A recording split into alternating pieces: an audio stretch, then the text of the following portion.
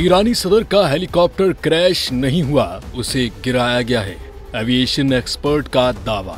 एक निजी चैनल पर बात करते हुए aviation expert captain Asim Aijaz का कहना था कि ये हेलीकॉप्टर दुनिया का सेफेस्ट तरीन हेलीकॉप्टर होता है और इसे सिविल मकासद यानी रेस्क्यू वगैरह के काम के लिए भी इस्तेमाल किया जाता है। उनका कहना था कि हेलीकॉप्टर के इंजन में अगर खराबी होती है तो वो दूसरे इंजन पर चलता है। और अगर वो भी खराब हो जाए तो वो खुद ही ऑटो रोटेशन से ज़मीन पर आसानी से लैंड कर सकता है। इसके क्रैश होने के चांसेस बहुत कम होते हैं। इसके अलावा अगर जहाज़ के कैप्टन ने एयर ट्रैफ़िक कंट्रोल को इंजन की खराबी के बारे में नहीं बताया और ऑटो रोटेशन से भी आगाह नहीं किया तो उससे साफ़ ज़ाहिर होता है कि ये मामला कोई और है। उनका ये भी कहना था कि हेली क्रैश में जहाज़ का मलबा ज़्यादा दूर जाकर नहीं गिरता। उसके टुकड़े अगर दूर दूर तक फैल जाते हैं तो इसका मतलब है उसे गिराया गया है।